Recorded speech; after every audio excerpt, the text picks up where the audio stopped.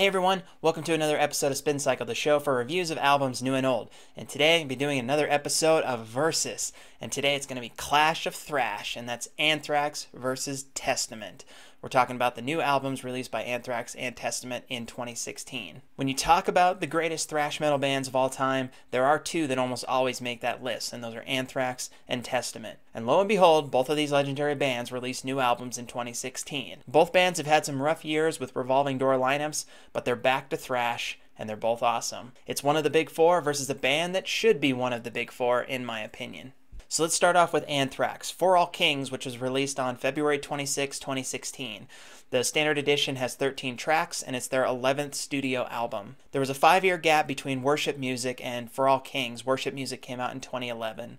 And since then, there have been some lineup changes. Rob Caggiano left the band to join Volbeat in 2013, and he was replaced by Jon Donais of Shadows Fall. The rest of the band is pretty much the same from some of Anthrax's best albums from the 1980s, including Among the Living and State of Euphoria, 1987 and 1988, respectively. And those band members are, of course, Joey Belladonna, Scott Ian, Frank Bello, and Charlie Benante. For Testament, Brotherhood of the Snake was released on October 28, 2016.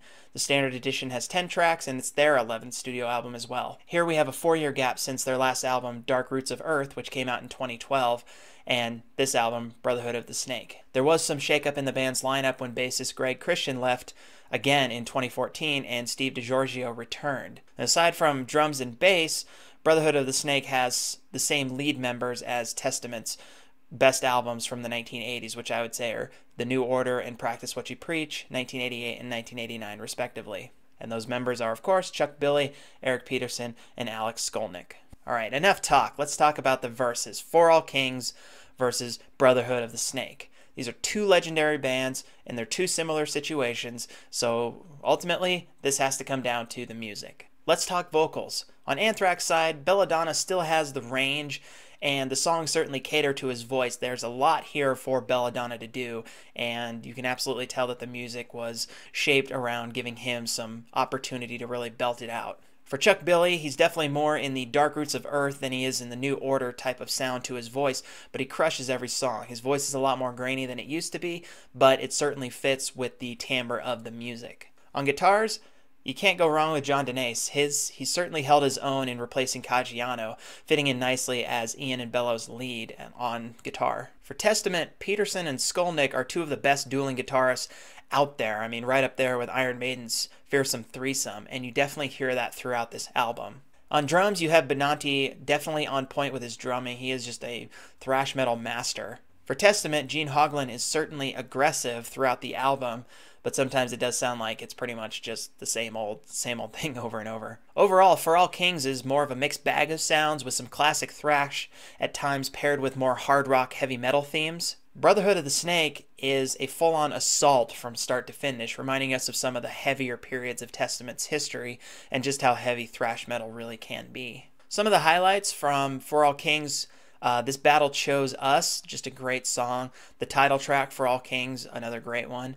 Blood Eagle Wings, that one is epically awesome. And then Evil Twin is probably the catchiest song on the album. For Brotherhood of the Snake, the title track, Brotherhood of the Snake, is just the best way to start off an album, is just hitting it hard from the get go. Then you have some other great songs in Stronghold, another great thrash metal song. Neptune's Spear and The Number Game is a great way to end the album. So, who wins?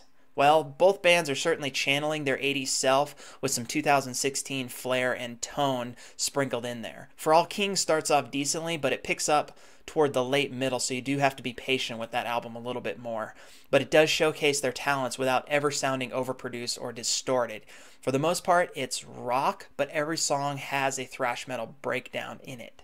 On the other side, Brotherhood of the Snake kicks off with an aggressive, thrashing song, and it doesn't relent. The music is classic Testament with more of the growling metal vocals of later albums, but it is consistent and hard, finishing with an exclamation point of a song in the number game. So who's the winner?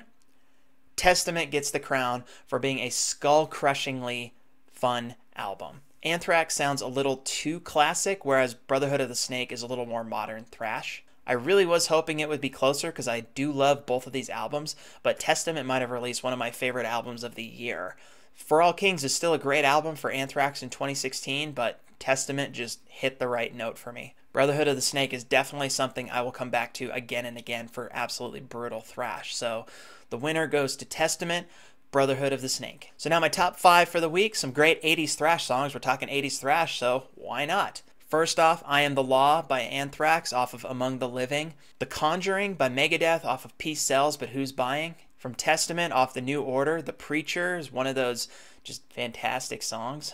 Slayer off Reign in Blood, Angel of Death. That is almost one of the iconic songs to start off an album. But another iconic song to start off an album, Hit the Lights by Metallica off of Kill 'Em All. Absolutely one of my favorite songs. So what do you guys think? Who do you think should win? Anthrax or Testament? Tell me what you think of these albums. If you haven't heard them, you should definitely go out and hear them because they are both worth your time. And that does it for this episode of Spin Cycle, and I'll see you guys next week. Bye-bye.